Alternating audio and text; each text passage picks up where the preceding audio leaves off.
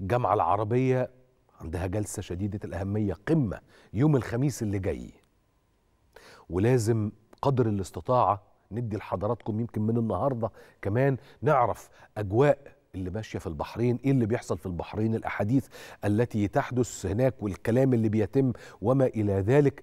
خليني آخد معايا زميلي العزيز محمد عبد الله موفد التلفزيون المصري من المنامة. إزيك يا محمد؟ أهلا أهلا بيك يا يوسف. إزيك يا حبيبي؟ أنا كنت شايفك وكنت تجري لقاء مع سياده السفير حسام زكي وكنت عايز أعرف منك يعني ملخص لهذا اللقاء وأيضا آه يعني ما الذي يدور حولك في المنامة يا محمد؟ طيب آه، خلينا نبتدي. ما الذي يدور حولك في المنامة؟ وبعد كده نتكلم على اللقاء آه، الخاص للتلفزيون المصري مع آه، سيادة السفير حسام زكي الأمين العام المساعد. ما الذي يدور في المنامة؟ اللهجة اللي أنت بتتكلم بيها يوسف حالة الغضب وحالة الاشمئزاز. من التصرفات الإسرائيلية آه، المفجعة التي دخلت شهرها الثامن على المواطنين العزل في قطاع غزة هي حالة الغضب هي موجودة هنا. حالة الغضب دي موجودة لدى الإعلاميين اللي التقينا بيهم من مختلف الدول العربية. حالة الغضب موجودة لدى المواطن آه، العربي في الشارع العربي وأيضا موجودة لدى المسؤولين والاجتماع الحاصل آه، صباح اليوم لوزراء الخارجية العرب. وبالتالي هذا هو بانعكاس لما يدور في أذهان القادة والزعماء فيما يتعلق بالملف الفلسطيني. الملف الفلسطيني بيلقي بظلاله على آه، أعمال القمة العربية الثالثة والثلاثين. هي دوره عادية لكن الأحداث التي تحيط بها تجعلها قمة استثنائية تضاف إلى القمم التي مرت على القادة والزعماء العرب وشهدت أحداث آه، جسام زي آه، القمة العربية اللي حدثت في 1956 في بيروت إبان بعد العدوان الثلاثي على مصر. قمة 1976 في الرياض القمة العربية المصغرة لحقن الدماء في لبنان. آه، قمة 2002 اللي اتبنت مبادرة هامة جدا وهي المبادرة العربية للسلام وتحدثنا فيها مع السفير حسام زكي. هقول لك آه، اتكلم معانا وقال لنا إيه.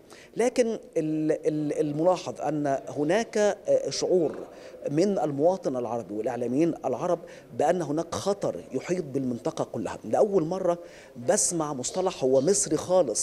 آه، منذ 2014 وهذا المصطلح سيادة الرئيس عبد الفتاح السيسي يؤكد على هذا المصطلح وهو الحفاظ على الدولة الوطنية. لأول مرة في زيارات مختلفة لدول الخليج العربي أسمع مثل هذا المصطلح الحفاظ على الدولة الوطنية. ضرورة الحفاظ على الدولة الوطنية. بدأ الجميع يشعر بخطورة هذا المخطط الغريب الذي يريد تقسيم وتفتيت المنطقة لصالح دولة معروفة بعينها في المنطقة هي دولة إسرائيل. ومن ثم هناك حالة من الوعي لدى المواطن العربي بأن هناك خطر كبير يحيط بالمنطقة العربية وأن الرؤية المصرية سبقت الجميع وحذرت الجميع من هذا الخطر وضرورة أن يتكاتف الجميع للتعامل مع هذا الملف المنتظر أن حجم هذه التحيات التحديات أن تترجم في قرارات آه، قمة إعلان البحرين الذي سيصدر عن القمة العربية الثالثة والثلاثين. هذه نقطة. النقطة الثانية آه، معالي السفير حسام زكي آه، يمكن أول سؤال وجهته له آه، آه، عن آه، كيف ترى التعامل المصري مع ملف القضية الفلسطينية والعدوان الإسرائيلي الحاصل اللي وصل على الخط الحدودي والشريط الحدودي.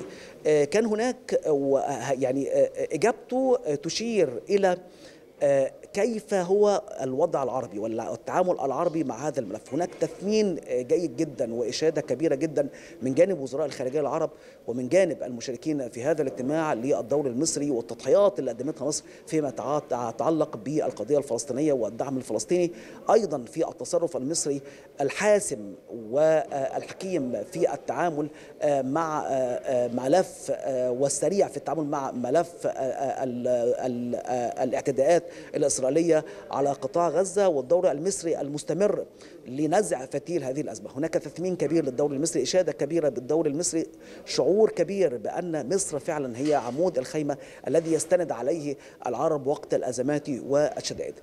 يعني هذه هي عناوين سريعة عما يحدث طب محمد هل في هل آه، تلمست أو استشعرت. نعم. أن هناك غضبا أيضا منصب على الإدارة الأمريكية أم إنه الغضب منصب على الإسرائيليين فقط يعني أمريكا شريك كل العالم يعلم أن أمريكا شريك صحيح يوسف آه، يمكن دي نقطة هامة للغاية وهذا الغضب بالتأكيد آه، يتحمله جميع يحملوه هنا نحن نتحدث عن مراقبين خبراء في الشؤون آه، في الشأن العربي التقينا بهم هنا من مختلف الدول العربية البعثات الدبلوماسية وزراء الخارجية المشاركين في ال- الاجتماعات آه، اجتماعات وزراء الخارجية العرب للتحضير للقمة على مستوى القادة والزعماء. الجميع هنا يرى أن الموقف الأمريكي منحاز للغاية، الموقف الأمريكي آه، آه، يعني آه، يكيل بمكيالين، الموقف الأمريكي ه- هذه المرة آه، لا يرى إلا ما تراه إسرائيل، للأسف هذا ما يتحدثون عنه هنا، أيضا التصريح الذي صدر اليوم من البيت آه، آه، ما يحدث من جانب عدوان إسرائيلي غاشم على المواطنين العزل في قطاع غزة هو ليس عقاب جماعي. هذا تصريح استفز الجميع هنا للغاية. استفز المواطن العربي يتحدث هنا عن الشارع العربي استفزه للغاية. وكان هناك آه، آه، نستطيع أن نقول رد رسمي من جماعة الدول العربية آه، من خلال كلمة السيد الأمين العام أحمد أبو الغيط في كلمته الافتتاحية في اجتماع وزراء الخارجية العرب قالها صراحة بأن ما يحدث على الأراضي الفلسطينية في قطاع غزة هو تطهير عرقي يعني قال صحيح هذا 100%. اللفظ صراحة هو صحيح ما يحدث 100% هو وده تطهير تصريح عرقي. آه، مسؤول بالظبط. من مسؤول كبير وهو يعني الأمين العام لجامعة الدول العربية أنا بشكرك جدا زميلي وصديقي العزيز محمد عبد الله موفد التلفزيون المصري من المنامه إسرائيل كلها وحوش بشريه ما يحدث في إسرائيل هو إبادة جماعية. دولة قامت على أساس التطهير العرقي.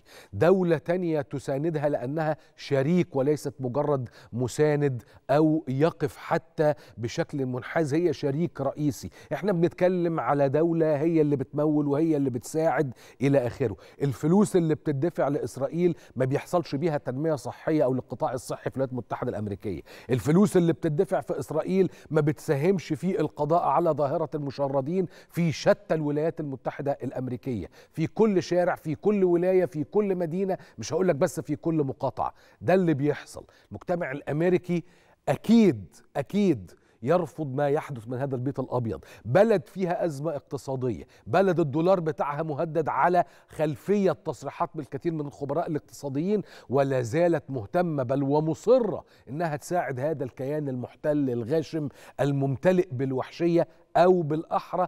لا يمتلئ إلا بالوحشية. في النهاية خالص طب وبعدين؟ ده سؤال مهم. طب وبعدين؟ وبالمناسبة وبعدين دي لازم توجه لينا إحنا المجتمع العربي.